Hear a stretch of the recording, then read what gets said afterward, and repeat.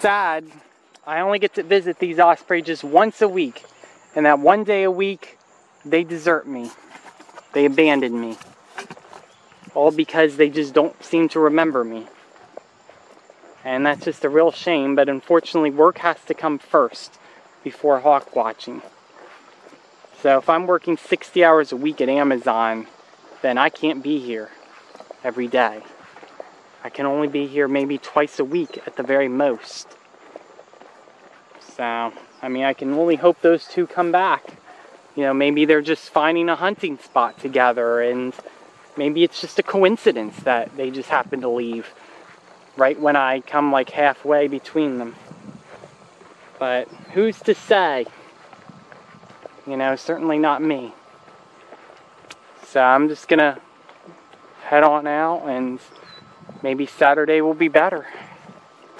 It's the only thing I have to say. So until next time, I'll see you later.